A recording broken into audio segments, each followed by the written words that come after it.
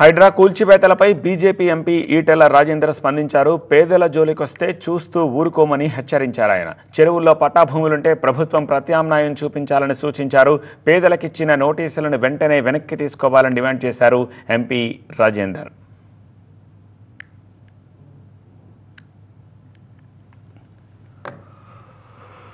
Greater Hyderabad పరిధిలో హైడ్రా అంటే అడలెత్తిపోతున్నారు జనం. భూ కబ్జాదారులే కాదు సామాన్య మధ్యతరగతి పేదలు కూడా నోటీసులు ఇవ్వడంతో పెద్ద ఎత్తున ఆందోళన చెందుతున్నారు.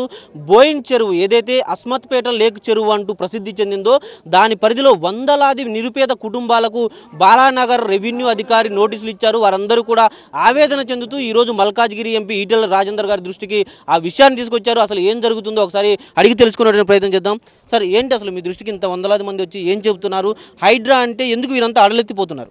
చాలామందికి తెలంగాణ మేధావులకి ఇవాళ తెలంగాణలో టీవీలకు పోయి డిబేట్ చేసే వాళ్ళకి అర్థం కాని విషయం ఏంటంటే ఐవీఎఫ్ ఒక అధునాతన సంతానోత్పత్తి చికిత్స. అనేక దంపతులకు తల్లిదండ్రులు కావాలనే వారి కలను నెరవేర్చుకోవడానికి సహాయపడుతుంది. ఈ రోజే ఓఎస్ఎస్ ఫర్టిలిటీని సందర్శించండి.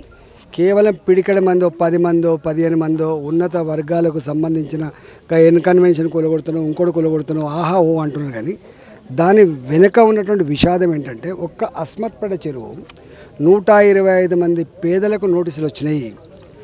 నైన్టీన్ ఎయిటీ పంతొమ్మిది వందల ఎనభై నుంచి వాడు నలభై నలభై నాలుగు సంవత్సరాల క్రితం అరవై గజాలలో కట్టుకున్నటువంటి మురికి కూపాల ఇండ్లు వాటికి అలా నోటీసులు వచ్చినాయి. ఇక్కడనే అలవాల్ చెరువు ఉంటుంది. అలవాల్ చెరువులో కూడా నలభై ఏళ్ళ క్రితం కట్టుకున్నటువంటి ఇళ్ళకు ఇలా నూట ఇరవై ఐదు మందికి నోటీసులు వచ్చినాయి. ఇట్లా కొన్ని వేల మందికి. ఈ పక్కకే ఫాక్ సాగర్ ఉంటుంది. ఫాక్సాగర్లో ప్రభుత్వమే స్వయంగా ఆనాడు ఆరు వందల ఇరవై మందికి పట్టాలు ఇచ్చింది అరవై గజాలు చొప్పున ఇల్లు కట్టుకున్నారు వాళ్ళు. వాళ్ళకి ఇవాళ వచ్చి ఆఫీసులు తిరిగిపోతున్నారు. కొన్ని వేల మంది మేధావులు మాట్లాడేదో పది మంది గురించి. ఇవాళ ఈ హైడ్రా ఈ ప్రభుత్వం పేదలకు కంటి మీద కొనుక్కు లేకుండా వేలాది మందికి నోటీసులు ఇచ్చుకో ఇవన్నీ నోటీసులు ఇవ్వ ఇన్ని నోటీసులు ఉన్నాయి. ఇలా ఈయననే కొత్తగా ముఖ్యమంత్రి అయినట్టుగా కొత్తగా రాష్ట్రం ఏర్పడ్డట్టుగా ఇవాళనే కాంగ్రెస్ పార్టీ పుట్టినట్టుగా కాంగ్రెస్ పార్టీకి ఈయననే నాయకుడు అయినట్టుగా ఇలా ఈయన మాట్లాడుతున్నాడు. ఆయన మాటలు చూస్తూ ఉంటే ఆశ్చర్యంగా ఉంది. ఇలా రేవంత్ రెడ్డి గారికి ఐదేళ్ళు ఎక్కడ చక్క ఎమ్మెల్యే చేసిన సందర్భం ఉండకపోవచ్చు.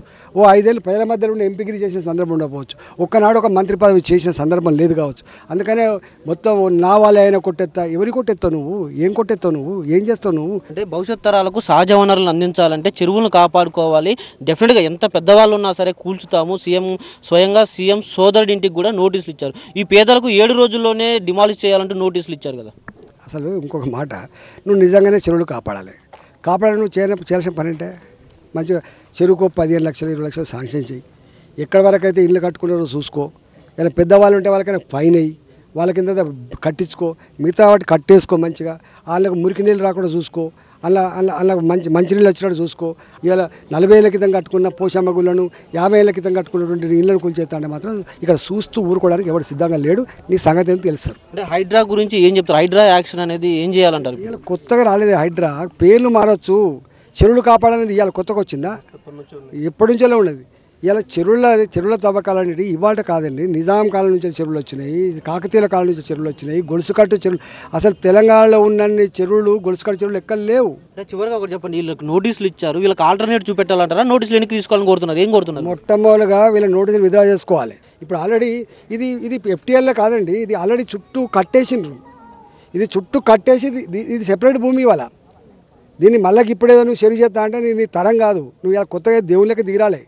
ఎస్ అది డెఫినెట్గా ఏదైతే ప్రభుత్వం హైడ్రా పేరుతో కూల్చివేతలు చేపడుతుందో పేదల జోలికి వస్తే చూస్తూ ఊరుకునేది డెఫినెట్గా పేదలకు నిరుపేదలకు ఇచ్చిన నోటీసులు వెనక్కి తీసుకోవాలంటే కూడా మల్కాజ్గిరి ఎంపీ ఈటెల రాజేందర్ డిమాండ్ చేస్తున్నారు. కెమెరామెన్ శేషుతో విద్యాసాగర్ టీవీ నైన్ బోయిన్ చెరువు నుంచి.